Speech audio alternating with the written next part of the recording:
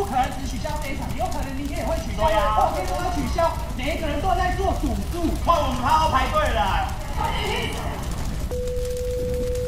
这个部分我们是依照这个，没有办法。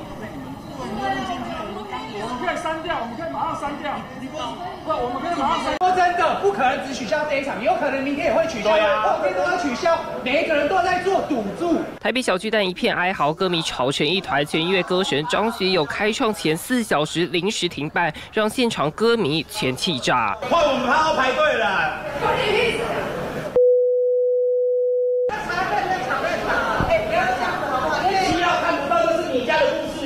歌迷火气非常大，双方互不罢休，接连警方到场了，歌迷继续争，甚至和主办单位吵了起来。这个部分我们是依照这个，没有办法。对我们可以删掉，我们可以马上删掉。你不，不我们可以马上删。张学友无预警宣布停办演唱会，震惊台湾歌迷。张学友经纪公司也火速发声明表示非常抱歉，因为上礼拜张学友表演完回到香港后，身体开始出现不适，看完医生后确认感染呼吸道融合病毒。张学友强调，一开始希望可以有奇迹发生，一觉醒来就可以照常表演，只是奇迹并没有出现，喉咙依旧非常痛，也无法正常发声，才会决定临时取消。遗憾一定是会啦，可是。没关系，我们都很爱他，我相信台湾人都会等他回来。部分歌迷感到心疼，演唱会门口外也出现大批歌迷张贴红白粉纸条在墙上，祝福歌神早日康复。目前根据主办单位公告，六月七号、八号、九号场次已经确定停办。至于详细的退票资讯，经纪公司和主办单位还在讨论。只不过对于歌迷来说，等了六年，终于迎来歌神来台开唱，却碰上停办，也让歌迷感到十分失望。东新闻张网六位陈林洲在台北报道。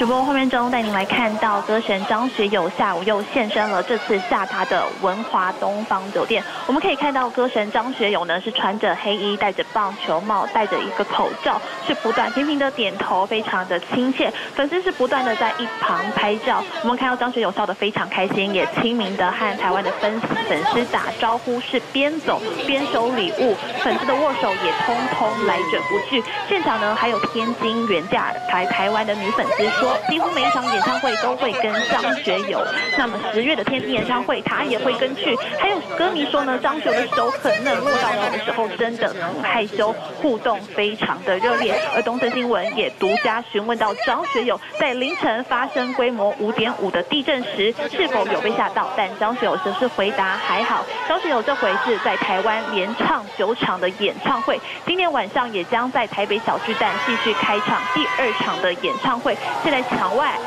呃，场外排队的民众还是非常的多，而张学友呢也搭上了保姆车，准备到小巨蛋进行彩排。以上就是东森新闻独家为您掌握的最新讯息，将时间交还棚内。一千个伤心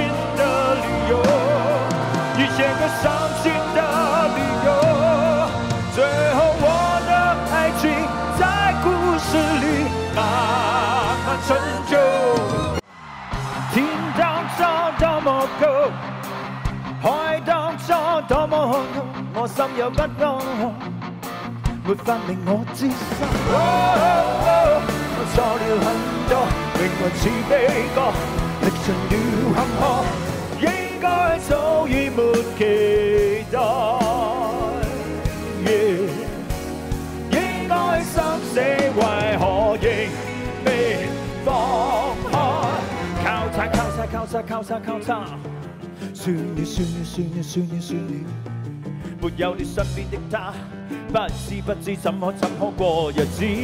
哦，可惜呀，不是几缕眼泪只能结束。这样的话，或许有点太孤独。一眨眼，又是一个十年。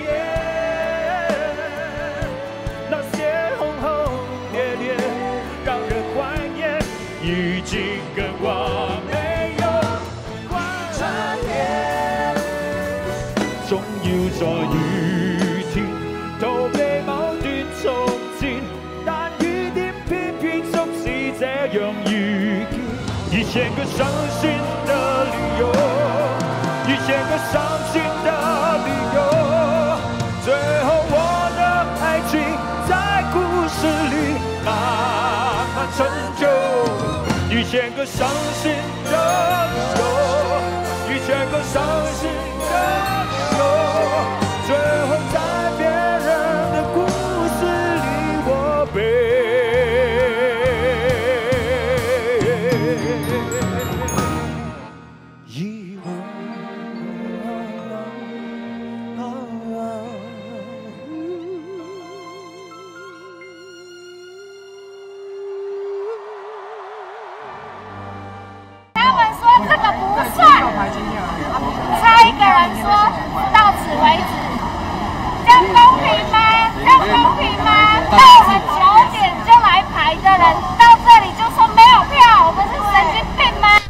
气愤，排队排了半天，却只能空手而归。事前试出几张票，验证机制为何，歌迷全不知情。开卖前一刻，工作人员才宣布游戏规则。工作人员会在购票者手上戴上手环，现场纯粹代买的人员，自己没有要进场观看的人，可以先行离开。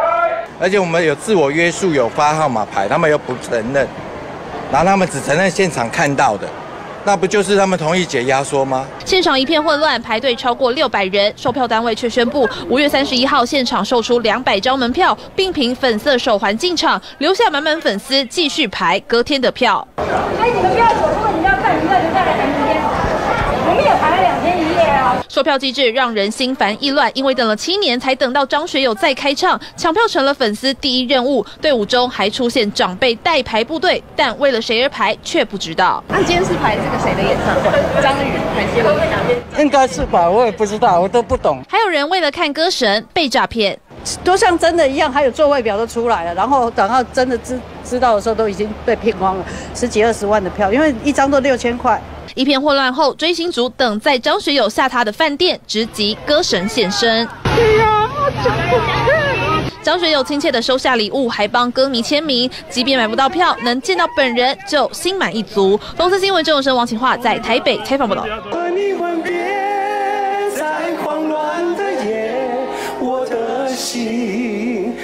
着迎接伤悲。这是张学友的，还有些哭腔的。原本璞玉般温润嗓音，瞬间抖成鼻腔共鸣。费玉清变身张学友，简直像到骨子里。Ramon Ramon？啊，Ramon Ramon Ramon，对，Ramon Ramon Ramon，是真爱你，永远爱你，请相信，此心不渝。就有他们或者是港星啊，他们通通会有一些总是呃华语呢不是那么的标准，有点广东腔，嗯。啊，所以他们又有他们一种又有一种他们的味道哎，所以现在你醉的憔悴的让我好心疼，有时候爱情会比时间伤人。模仿歌王入木三分，尤其张学友独特唱腔，费玉清完全信手拈来。很多人不知道，张学友出道前，费玉清还曾教过他唱歌呢。说起来，魏大哥，你有没有有没有记起来，在大概在八年前，你到香港当一个比赛的特别来宾？哦，八年前，对对，我记得我跟欧阳菲菲嘛，对，就是那次，哎，我是我就是那个比赛出来的第一名。哦，你就是那次比赛的冠军啊？对，对对对，你想想，我有印象，我有印象。水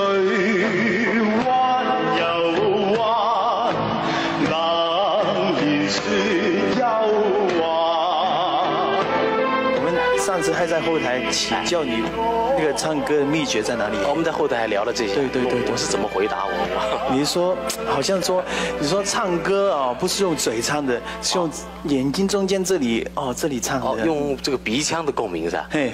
哎呀，哦，我听了有有没有一点这个影响呢？有研研究很久啊，果果然我觉得这功力啊增加了好几倍才能得冠军。哎一直想谢你，一直对对，谢谢。我和你吻别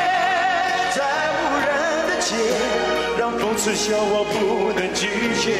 我和你吻别在荒冷的夜我的心等着迎接伤悲如果说张学友的歌声像一杯手冲的研磨咖啡费玉清就是一壶清茶。若再加入一点岁月提炼转个 key 压个嗓眯上眼还能有谁比他更像蔡琴？有人告诉我，爱情像一把锁，我从来没有尝试，怎么能信得过？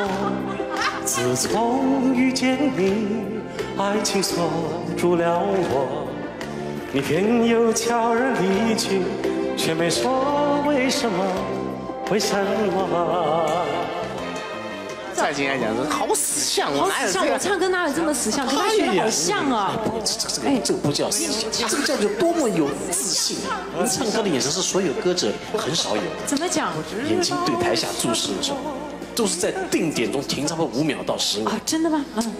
自从遇见你，爱情锁住了我，你偏又悄然离去，却没说为什么，为什么？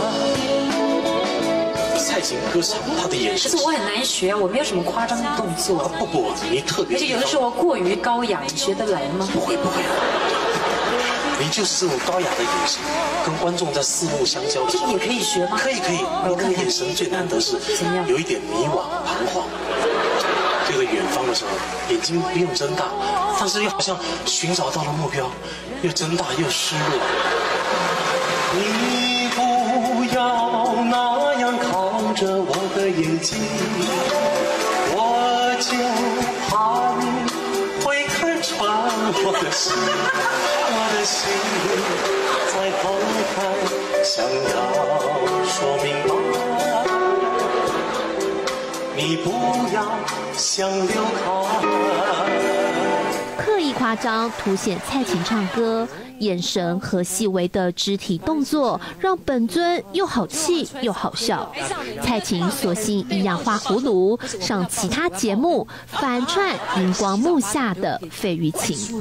他的台上，说实话，没什么好值得学习的，因为腰也挺不直，屁股也翘起来。一个男人手呢，每次都这样子叉腰，哪有这样叉腰的男人多难看？所以我要学的是台下，台下的费玉清那真的很可爱，拿了一杯茶，而且。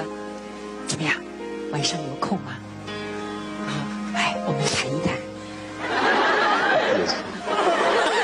哎，眼睛还要这样啊！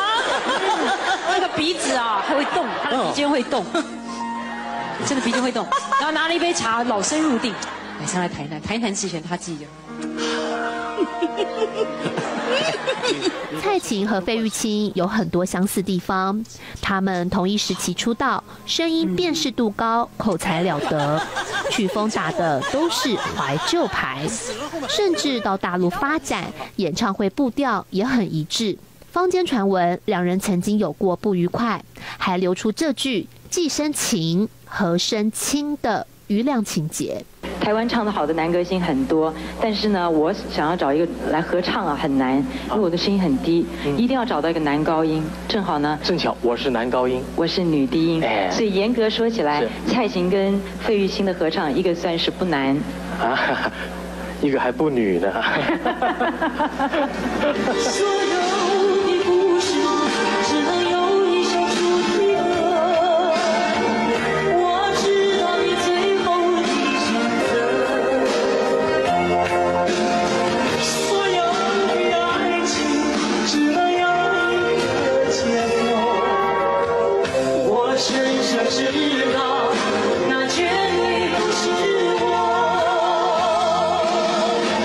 其实两人是好朋友，只是私底下很少联络。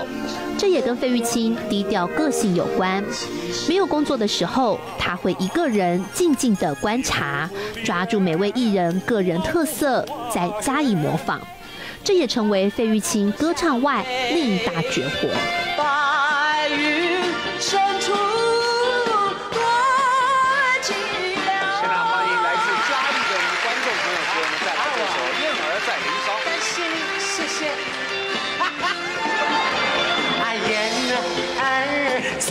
天上，眼前白云飘啊，闲来云闲不住，竹草竹枯。如果能够